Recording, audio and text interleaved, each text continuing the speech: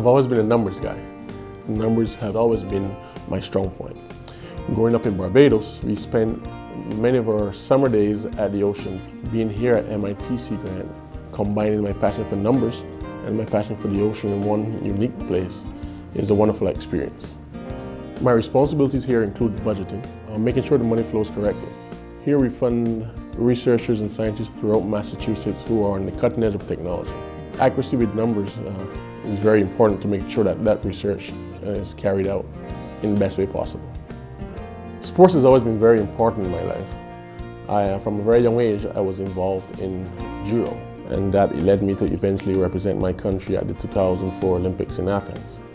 The discipline and skills I've acquired through these experiences have helped me so much throughout my life and career. My name is Barry Jackman, and I'm the Financial Officer at MIT Sea Grant.